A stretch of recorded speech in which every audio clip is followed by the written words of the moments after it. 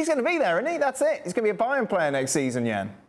Well, for more than two months now, his language has been, I want to go to Barcelona. And as you said, Dan, he's back in training, but now his body language is telling us something. He's too oh. late to two sessions. This is keeping up with Bayern at the moment.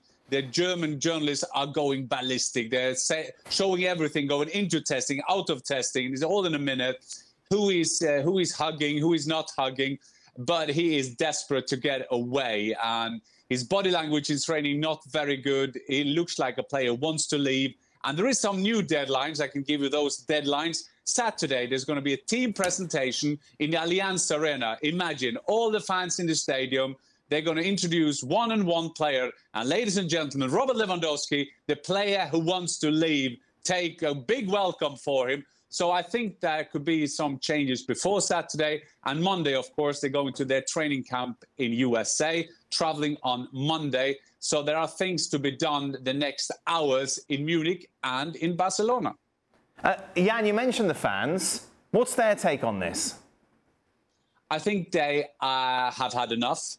I think that Salihamidzic has done what you should do when the people get a bit moody. You have to throw them bread and sausages as they do in Bayern, and uh, they have to get new players in. And to be fair to Salihamidzic, he's managed to get Mane in. It's a great signing for the Bundesliga, and great signing for Bayern Munich. He has more or less managed, or is on his way to get De in. Is all about now agreeing with Juventus. He's talked the player into that. The funny thing is, uh, is that Bayern is using this strategy to get Mane and De Ligt to tell their club that they want to leave. Barcelona tell Lewandowski, can you tell Bayern you want to leave? But then he's a traitor. That is the name of the game. And then the Bayern fans will say, well, Mane and De Ligt is saying nothing in the media. And my God, Lewandowski has used the media to tell that I want to leave the club. It's a fascinating dynamic from all different angles, Stevie. Yeah. From Nagelsmann's angle, like how do you, how would you deal with this? Wow. Hmm. My goodness. Because we, are hearing, for example, there was player. a practice match and whoever lost the match yeah. then had to do push-ups. He was the only one who didn't do the push-ups because he was on the losing team. Like one rotten apple. You, the problem is you can't win, you know, because you've got your best player who wants away. If he doesn't do sit-ups and everybody else is, mm -hmm.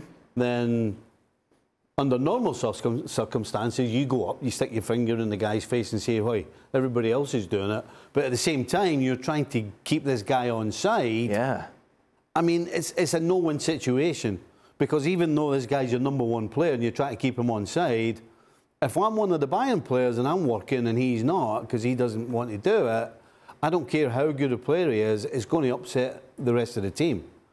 So you, you can't win either way. If you come down hard on Lewandowski, then he might just say, you know what, I might have wanted away before, but if you're, if you're going to start, then you know what, even if I don't, I'm doing nothing. I mean, it, you can't win. Nagelsmann can't win. Do you leave him in Germany when they go on, mm. go to the States? Wow. Mm.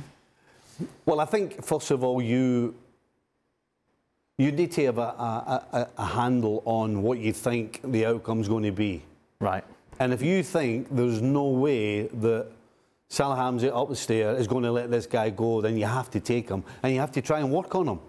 You've got to get him in your room. But does that not just cause problems though, like within? Well, no, because you're trying your best to work on the guy. Right. You're trying your best to get because by all accounts, Lewandowski's a good person. He's a good guy, never caused trouble, always works hard, always on time. Just a perfect professional. So you, if you're the manager, you're trying to work on every good bit of this guy and try and get him back on side somehow. Say you're a Thomas Muller figure within that camp. Mm. What role, if any, do you play mm. in this? I think, as a fellow professional, as a teammate, uh, I, you reach out to Lewandowski and not in front of everybody, but hey, let's have a coffee. Right. come on down.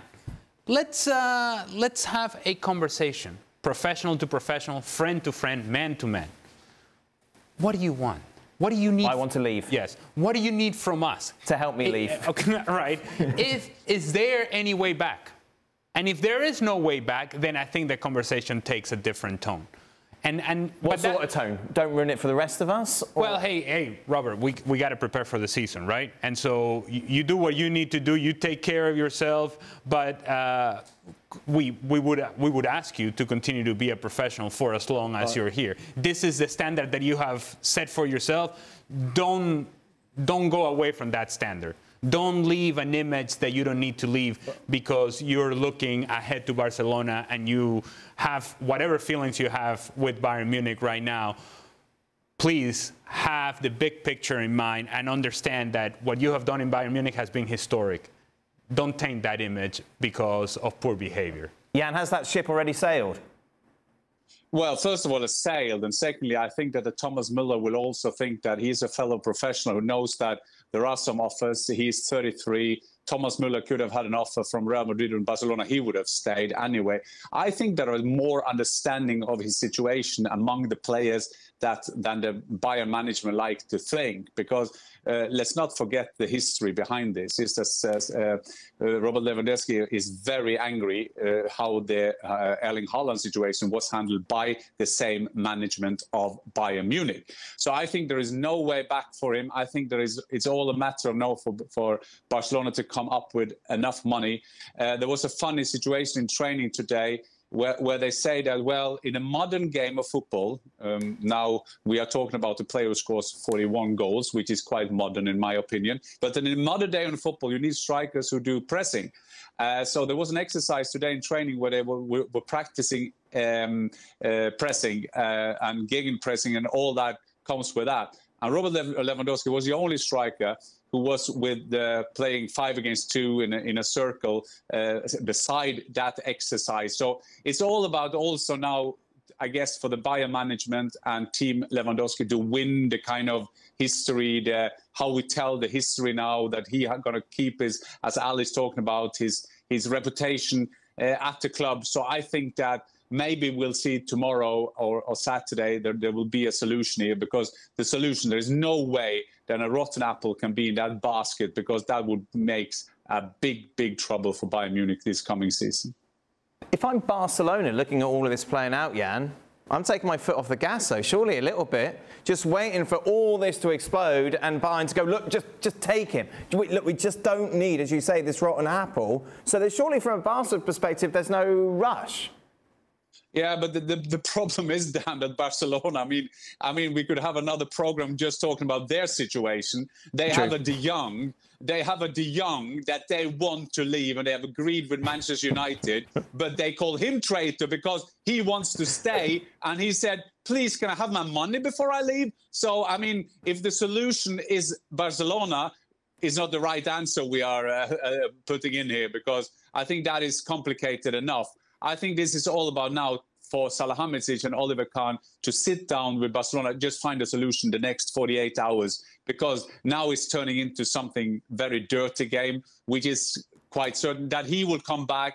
Okay, that he will not not strike. We knew that, but his body language, everything, he has already in his mind said auf Wiedersehen zum, zum Bayern. He's already gone. It's just his body is hanging around in Säbener Strasse.